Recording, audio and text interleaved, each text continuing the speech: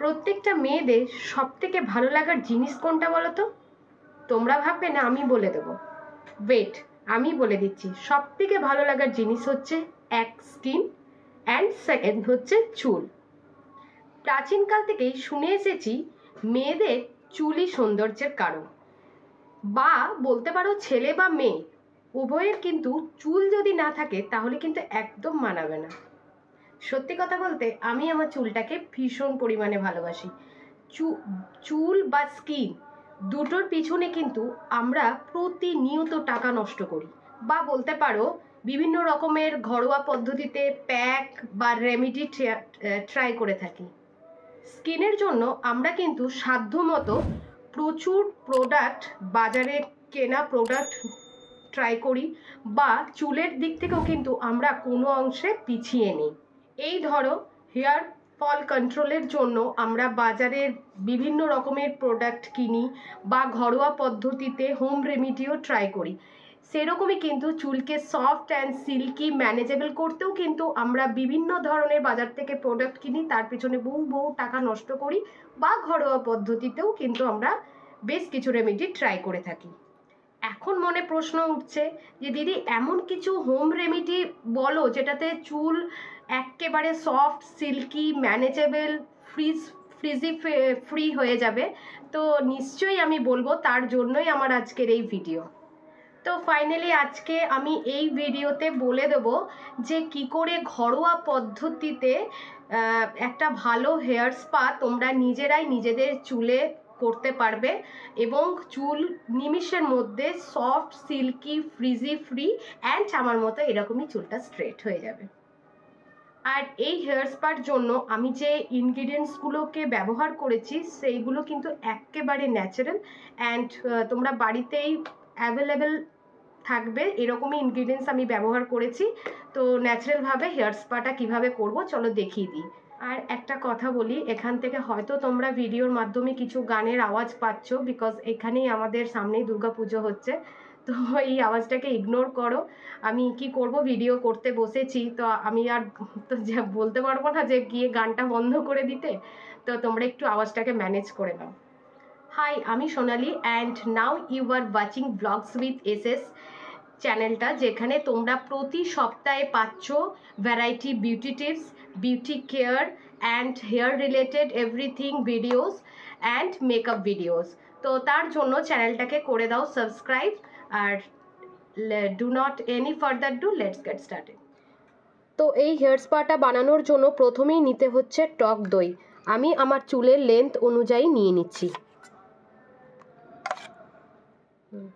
তারপরে নিয়ে নিচ্ছি পতঞ্জলি অ্যালোভেরা জেল। তোমরা চাইলে কিন্তু গাছ থেকে টাটকা অ্যালোভেরা জেলটাও ব্যবহার করতে পারো।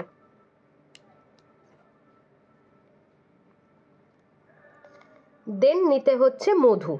মধু আমি কিন্তু এক চামচ মতো নেব। এবার সব উপকরণগুলোকে ভালো করে মিশিয়ে নিলেই তৈরি হয়ে যাবে আজকের আমাদের হেয়ার স্পা।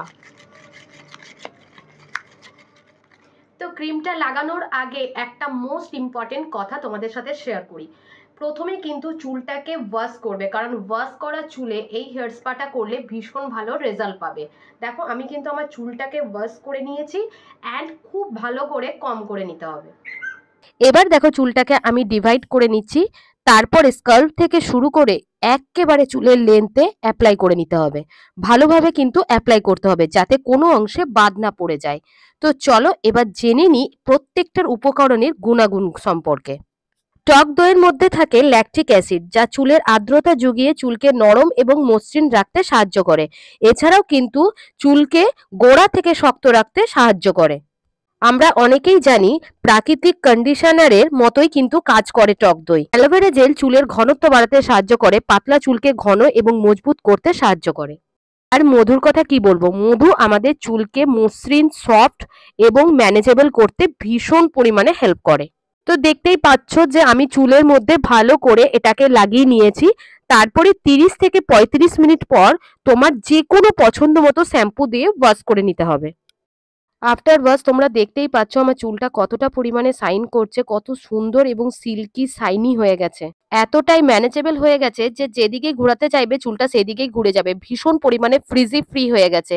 যে কোনোভাবেই কিন্তু জট লাগার কোনো চান্সেসই নেই।